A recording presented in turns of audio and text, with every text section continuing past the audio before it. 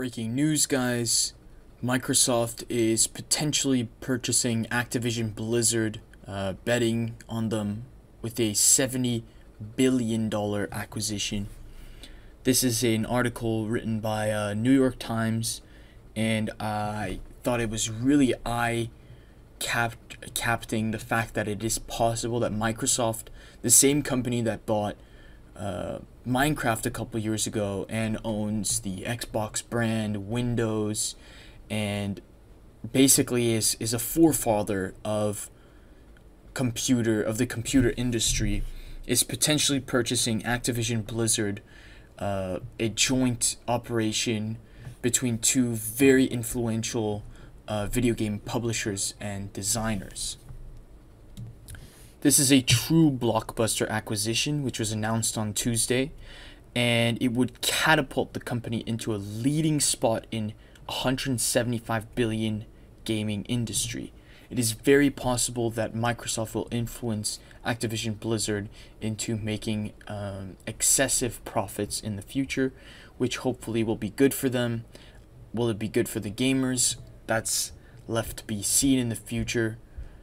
Now, I personally believe that this was a power move by Microsoft to try to compete uh, closer to Sony and Nintendo, especially Sony. In the last couple years, Microsoft has seen their console getting outsold and entirely demolished by Sony and their PlayStation.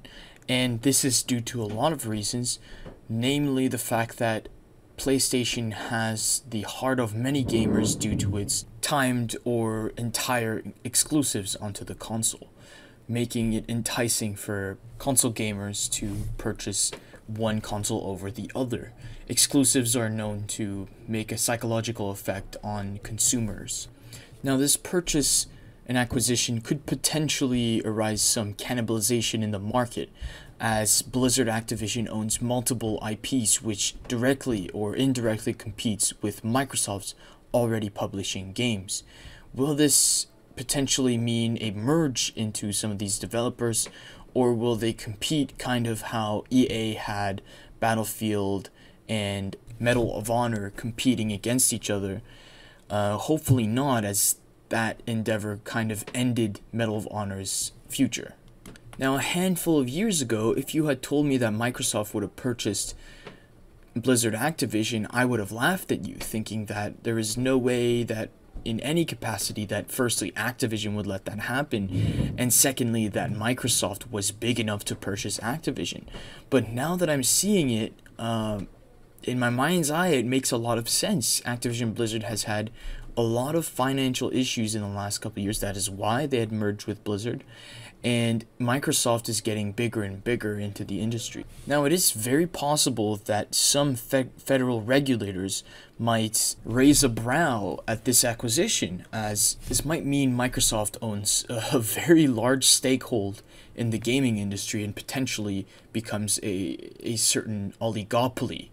Keep in mind that Microsoft is valued at more than $2.3 trillion, which is second only to Apple. The takeover of Activision might make Microsoft the world's third largest gaming company by revenue, behind Tencent and Sony, as you know. So, this might mean that Microsoft does, in fact, become uh, Facebook's mythological metaverse as it owns multiple platforms in the gaming industry, multiple.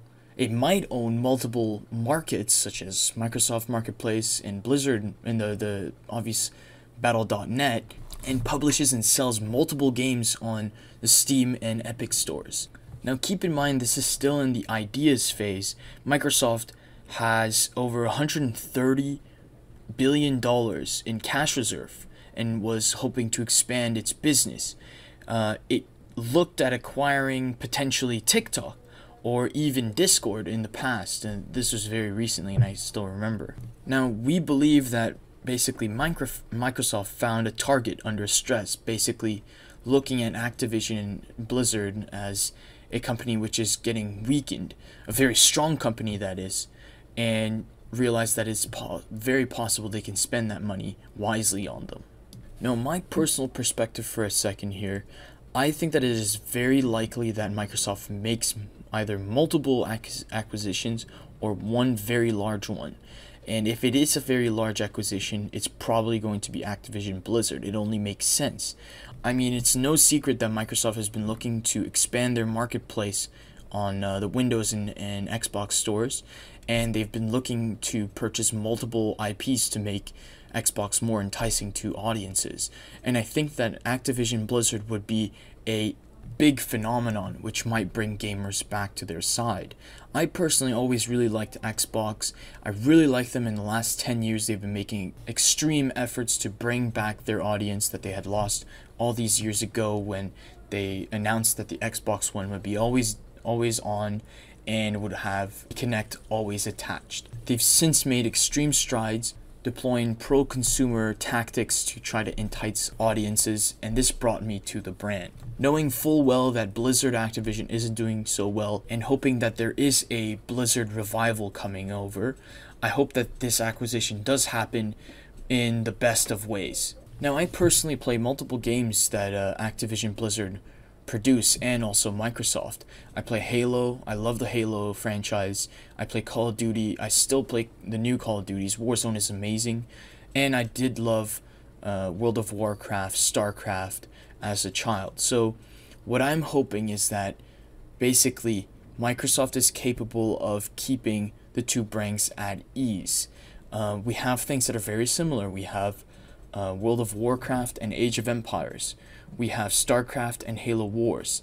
These have always been compete. These are directly competing games, and what I think that might happen is we see bundles uh, of these games together because the the same fans buy these same games. I'm also hoping that developers will be able to learn from each other's mis- mistakes, and potentially Microsoft might be able to directly teach the game engine designers at Activision Blizzard to properly utilize DirectX 12, which has, in my opinion, always been a problem with them.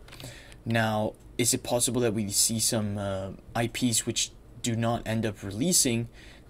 That, that's always a case. That's what happened with uh, Microsoft and Scalebound, which was a game that I was personally hyped about as it looked very entertaining and never really ended up coming out because it had so because Microsoft had so many other third person action games which we're releasing at this time. Overall, this is only really good news, and I hope you guys enjoyed this video and have a good day.